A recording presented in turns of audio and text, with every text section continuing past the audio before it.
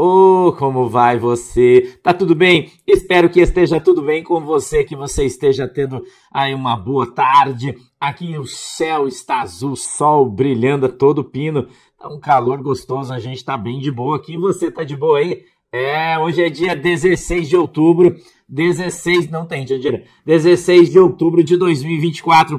Agora são 14 horas e 27 minutos. Está na hora de municiar toda a floresta narniana. É, a gente vem trazendo notícias de Nárnia, do submundo narniano, dos cantos mais escuros da floresta.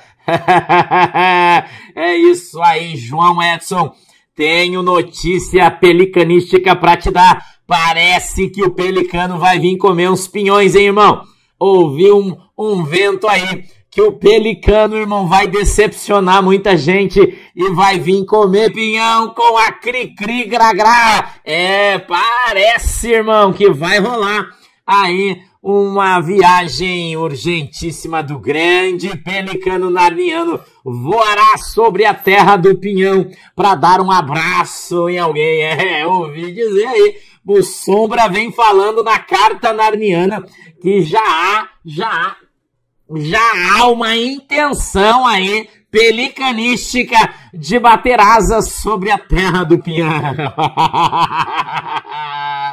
Para desespero de alguns aí, atenção, você que tá lá no Telegram, naquelas páginas tenebrosas telegranísticas, ah, irmão, falando, não entendendo por que, que o pastor Sandro vem apoiando a Cricri Gragrá, sendo que ela não representa o pelicanismo narniano. Você vai ficar decepcionado, vai ficar triste, vai ficar tristinho, irmão, porque parece que Parece que o pelicano já engatou uma quinta no seu voo narniano e vai pousar para comer um pinhão narniano aqui no sul.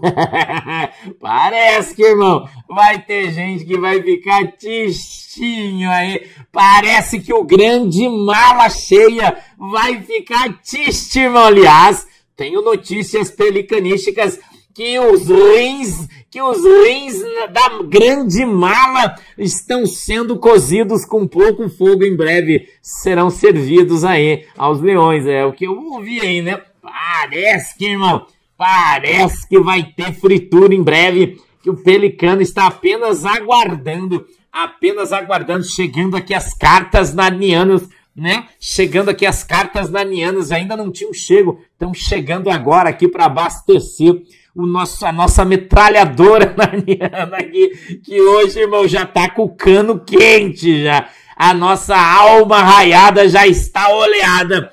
Pronto para disparar aleatoriamente. Alvo em frente. Hum, irmão. É arma destravada. Fogo à vontade, é isso aí, isso é o desdobramento que vai metralhar hoje. a desinformação. A desinformação, vamos metralhar a desinformação dos marrons. É, vamos trazer para você notícia de verdade. Aliás, eu quero trazer, venha comigo, Tiago, tem algumas informações jornalísticas hoje para você. Conexão política, dá uma olhada nisso aí. The New York Times, é isso que você está ouvindo. Põe o Superior Tribunal Federal nos holofotes do mundo e coloca em dúvida a atuação do Judiciário Brasileiro, diz o Conexão Política, tá quente. Pleno News, Cleitinho pede obstrução total no Senado para destituir o ministro Alexandre Moraes. Gazeta do Povo, dá uma olhada. Moraes pede extradição de 63 investigados pelo 8 do 1 que estão na Argentina. Gazeta do Povo, olhe comigo. Plano feito pelo governo a pedido do STF quer diminuir prisões por crimes sem violência. Os ladrões de celulares podem assombrar você. Gazeta do Povo. STF mantém decisão de Dino contra a lei do Mato Grosso que pune invasores de terra. É. CNN Brasil, eleições em São Paulo. Nunes tem 52,3% e Boulos 39,2% diz Paraná Pesquisas, né? Se bem que as pesquisas do Paraná Pesquisa não se escrevem, né? Eles não acertaram nenhuma. Mas vamos lá. TV Auriverde, escute isso. O meu candidato a prefeito em São Paulo é o meu candidato. né, eu considero como meu amigo Ricardo Salles. Eu não conheço ele pessoalmente e eu não sou advogado dele, eu não vou aqui fazer isso. Mas eu quero dizer aí que o Ricardo Salles hoje surrou de cinta o Kim Paim. Você que idolatra o Kim Paim vai ficar magoado com o que eu vou falar. Mas eu quero dizer para você que o Kim Paim não é dono da verdade, irmão. Ele não é dono da verdade e nem sempre o que ele fala se escreve, porque ele tem a opinião política dele. Não é uma crítica desconstrutiva. Não, é uma crítica construtiva. Kim Paim deve entender que ele não é a cabeça pensante do Brasil, né? E que nem tudo que ele fala é expressão da verdade da realidade no coração das pessoas. Democracia é cada um ter a sua opinião. E hoje, o Ricardo Salles, grande Ricardo Salles, um grande nome aí do bolsonarismo e da direita brasileira, na minha opinião, um dos caras mais extraordinários que tem no Brasil, um dos políticos mais extraordinários que tem no, no Brasil, é, é minha opinião, isso aí se você não gosta, que se dane, mas eu, o que eu acho, né, o que eu penso. E o, e o, e o Nunes hoje, né, ele, ele deu uma surra na Auriverde, né, e ele falou pro Kim Paim que não é porque a gente é bolsonarista que a gente tem que dobrar a coluna para todo mundo que os caras acham que é correto. Quem faz isso é a esquerda, não, nós que somos da direita. A direita, você que é a direita do sistema, você tem o direito de pensar, você tem o direito de se articular e também de não concordar, porque aqui ninguém é escravo de ninguém. Concorda comigo? Então o Salles veio aqui dizer que ele apoiou o Marçal no primeiro turno, sim, que ele acha que o, o candidato aí de centro-direita, o Ricardo Nunes, se ele ganhar, ele vai virar as costas pro Bolsonaro, vai dar uma banana pro Bolsonaro e vai mandar ele se danar. Que a minha opinião é a mesma. Eu, eu né?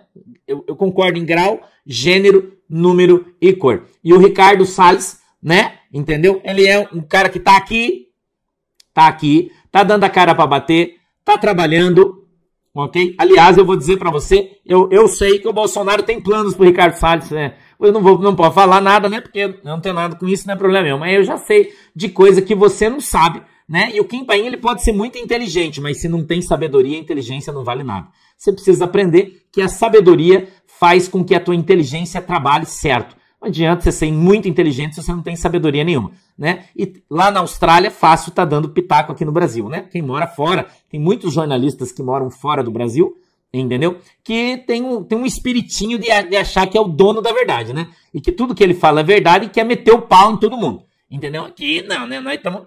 Negócio de meter o pau, nós estamos fora, entendeu? Certo, irmão? Então, isso... Ah, os caras estão dividindo a direita. Nada disso, irmão. Nada disso. Entendeu? Nada disso. Ninguém está dividindo ninguém. Porque direita não tem dono, ok? Direita não tem dono. Não, eu não sou de direita, já falei, eu sou bolsonarista, eu sigo meu presidente, né? Agora, se o meu presidente falar merda, eu não vou seguir ele. Porque eu tenho cérebro e eu penso. E você também tem que ser assim. Quem Paim, para mim, é um lacrador. Para mim. Quando ele fala a verdade, eu até trago ele aqui, mostro algumas coisas que ele fala e tal. Benção, tranquilo, legal. Mas não quer dizer Entendeu? Mas não quer dizer. O Arliquid comentou assim: ó, dono da verdade é você, pastor? Se liga, não, eu não sou dono da verdade, Arliquid. Aliás, eu sempre digo aqui que eu não sou dono da verdade, só estou dando a minha opinião.